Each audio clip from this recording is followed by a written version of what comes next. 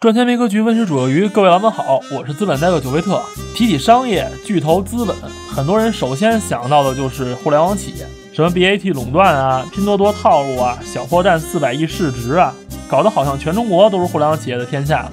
如果你也有这种感觉的话，只能说明你格局小了。互联网企业们确实做到了对普通人生活无微不至的关照，但这也就是最近十年的事儿。咱们建国七十多年了，改革开放也都已经四十多年了。这其中涌现了大量企业，而互联网企业在这其中不过是冰山一角。我会尝试用几期视频去向大家介绍那些非互联网行业的巨头企业，让大家对于商业社会有个更全面的认知。今天我们要介绍的这家企业就是国企华润。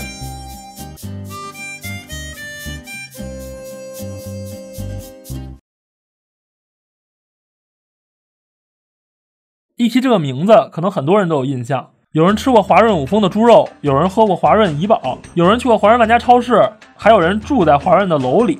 而雪姬之前也讲过华润雪花啤酒。中国跨领域经营的央企集团有很多，其中比较有名的，除了华润集团，还有保利集团、招商局集团和中信集团。其中，保利集团是中国极少合法的军火贸易商，主导了很多中国和美俄之间的军火交易。董事长贺平的妻子是邓小平的女儿邓荣。招商局集团的前身是李鸿章发起成立的轮船招商局。中信集团是红色资本家荣毅仁和国务院联合成立的企业，荣氏也是国内极少的家族式财团。一九九九年，在第一届胡润百富榜上排名第一的就是荣毅仁老先生，当时他的身家是八十多亿人民币。这三家的创始人，想必大家都已经清楚了。那么华润的创始人，大家猜猜是做什么的？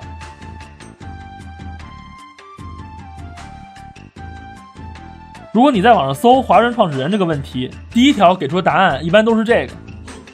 不知道这两位是谁的，建议早日重开吧。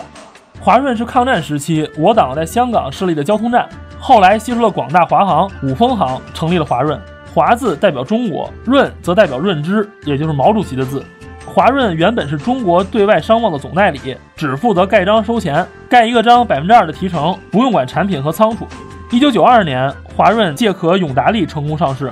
两千年，王石联合万科管理层挤掉了原本的第一大股东，让华润集团和华润置地拿到了总计百分之十点八二的股份，成为了万科的新大股东。也就是从这个时候开始，华润把自己的业务和投资全部转向了国内，最终变成了现在的华润集团。那现在的华润集团到底有多大呢？目前，华润集团一共有十三家上市公司，港股上市的有八家，A 股上市有五家，上市公司的总市值超过一万亿港元。这个市值规模相比于港股五万亿市值的阿里和六万亿市值的腾讯来说，确实小了很多。但从业务规模上相比，华润可要比他俩大多了。对比一下华润、阿里、腾讯的年收入和市盈率，二零二零年华润集团的总营收是六千八百六十一亿人民币，阿里则是五千五百亿人民币，腾讯是四千八百二十亿人民币，而三家的市盈率则分别是十六点九、二十五点三二和二十六点二九。三家的营收规模其实差不多，但华润的市盈率确实低了点。就是因为华润的业务比较传统，二级市场给的 PE 不如互联网企业高。华润的业务主要分为五个部分，包括消费、地产、健康医疗、能源和金融科技。其中，消费业务旗下拥有华润雪花、雪花啤酒、喜力啤酒等；华润怡宝、怡宝矿泉水、午后奶茶等；太平洋咖啡、华润万家超市、苏果、乐购。最近，华润万家还传出了即将在港股上市的消息，据说要募资二十亿美元。还有最近这个网红奶欧麦丽，你们都喝了吧？这是一个瑞典品牌，一经推出就备受欧美追捧。最近还刚刚获得了由黑石集团牵头的明星投资团两亿美元的投资，投资团阵容十分豪华，包括星巴克的前 CEO 霍华德舒尔茨、著名的主持人欧普拉、演员娜塔莉波特曼，还有知名说唱歌手 J Z。而这家公司的第一大股东也是华润，华润投资参股的消费公司更是不计其数。说完了消费，再说说地产。华润地产业务主要来自华润置地，其中包括乐府、橡树湾、凤凰汇、二十四城、万象城、万象天地等等。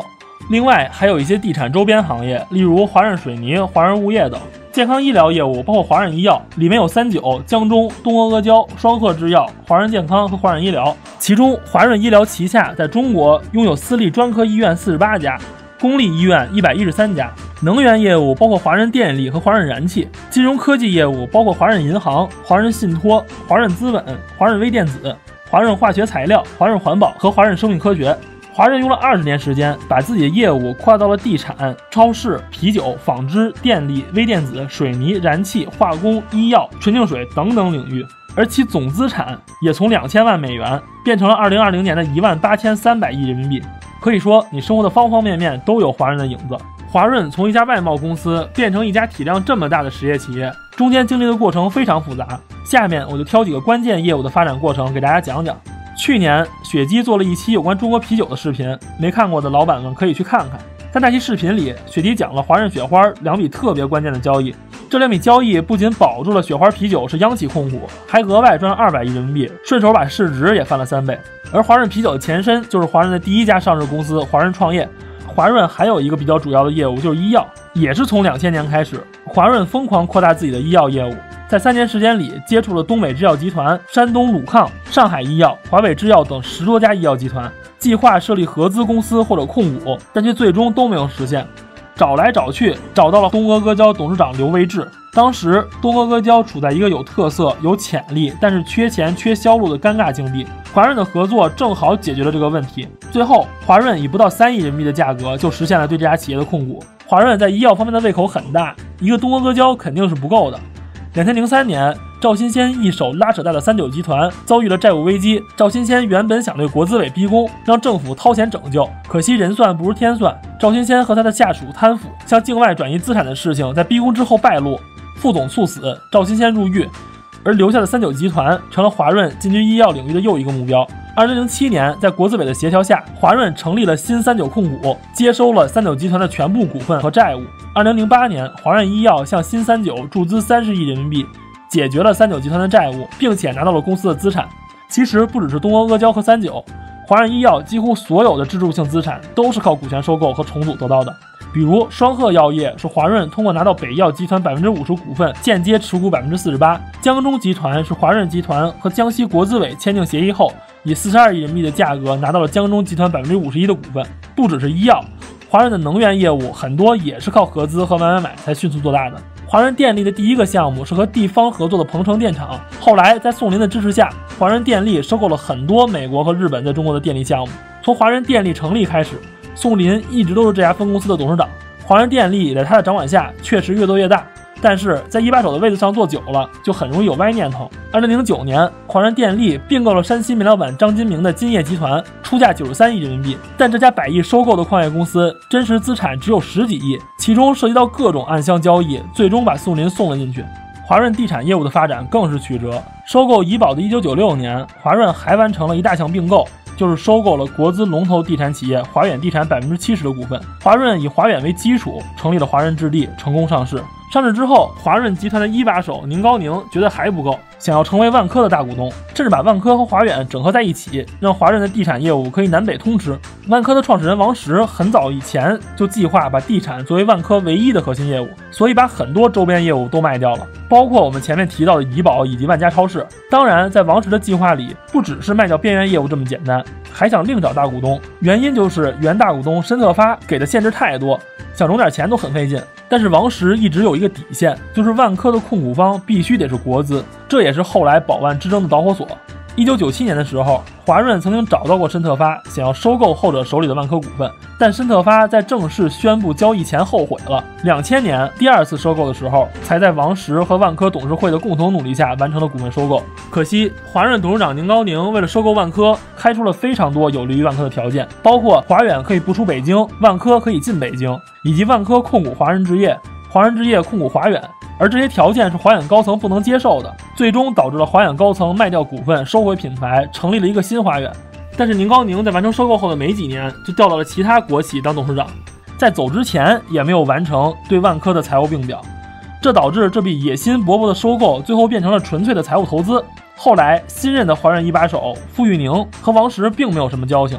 万科又赶上了宝万之争，华润顺势就把股份卖给了深铁集团，而王石呢也出局了。现在的华润置地年营收接近一千五百亿人民币，而以上这些也只是央企华润在扩张路上的一点点故事。讲到这儿，可能有人会问了，那华润是不是也涉嫌垄断？其实华润虽然是央企，但它的大多数业务都不能算是完全掌控了某个行业。比如说，你不喝雪花，还可以喝青岛，还可以喝燕京；不住华润的房子，还有万科的房子，还有恒大的房子。单说这一点，华润就没有办法和李嘉诚相比。在香港，天然气、水电力、港口、零售业、房产，几乎每一个都离不开李家的产业。什么叫垄断？这才叫垄断！BAT 都得靠边站。当然，央企有央企的优势，同时央企和国企也是支撑国家经济民生的关键。我们应该更理性的看待他们的存在。好了，这就是本期视频的全部内容。如果觉得不错，就动动小手投币、点赞、收藏，一键三连吧。我是九维特，我们下期再见。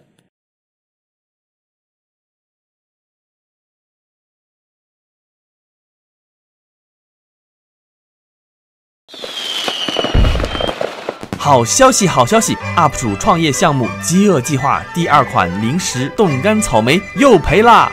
嘿，现在枪仔回馈各位粉丝，在我们的小店下单购买两罐冻干冰糖葫芦，就送原价十八元的冻干草莓一份。明明卖十八块钱，为什么要送呢？因为久菲特在和工厂沟通的过程中出了问题，导致第一批出厂的冻干草莓个头大小不一，非常影响观感。不过有一说一，口感还是超棒的，就是样子丑了点。吃过的没有敢说不好的。但是呢，为了让大家有更好的消费体验，所以我们最后决定，第一批冻干草莓将以赠品的方式送给下单的各位。我们实在不舍得销毁，本着不能浪费粮食的角度，我们也不能销毁。不过这么一送，基本上送掉了我们之前糖葫芦所有的利润，干，越卖越赔。从现在开始，买两罐冻干冰糖葫芦就送一袋原价十八块钱的冻干草莓，数量有限，送完为止。我怕你们不来薅九菲特的羊毛，雪姬我还额外加送限量周边哦，而且现在进店还有三元的优惠券可以领哦。淘宝搜索“饥饿计划”或者点击下方的链接购买吧。嚯，又是好穷的一天呢。